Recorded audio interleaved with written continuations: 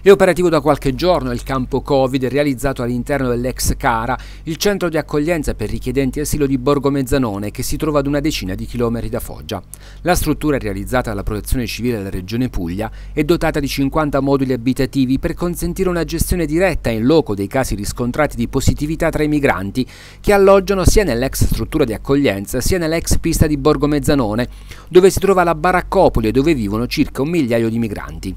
Qualora i positivi ospitati nel campo Covid dovessero aggravarsi, verrebbero trasferiti nelle strutture sanitarie. Inoltre nel campo Covid saranno ospitati anche eventuali familiari che saranno sottoposti ad una quarantena fiduciaria. La gestione logistica del nuovo campo è stata affidata alla Federazione delle Misericordie di Puglia, come ci spiega Gianfranco Gilardi, presidente regionale.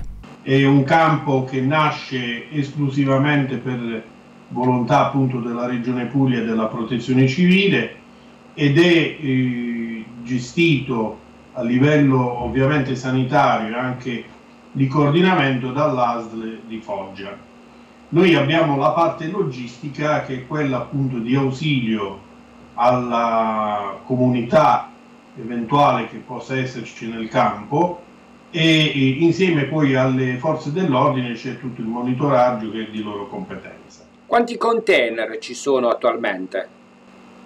Ci sono 50 moduli abitativi, eh, comprensivi anche dei servizi, e che eh, sono appunto stati eh, posizionati e adattati proprio per questo tipo di accoglienza. E, e quindi 50 moduli che prevedono appunto la eh, presenza di 50 persone come capienza.